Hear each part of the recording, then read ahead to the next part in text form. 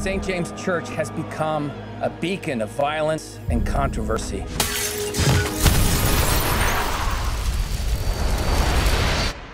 And it has no place on Hadley University campus. How are you doing? I'm okay. It's kind of weird. Somebody burns your church down, but you're okay.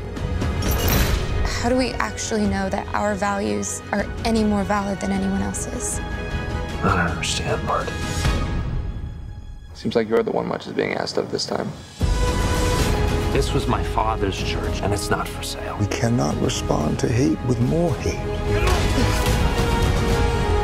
You don't get to play innocent. You did this. What you're doing, it's against the law. It's okay to be broken, Dave. It means God's still shaping you. The whole world knows what the church is against, but it's getting harder and harder to know what it's for. What am I doing wrong?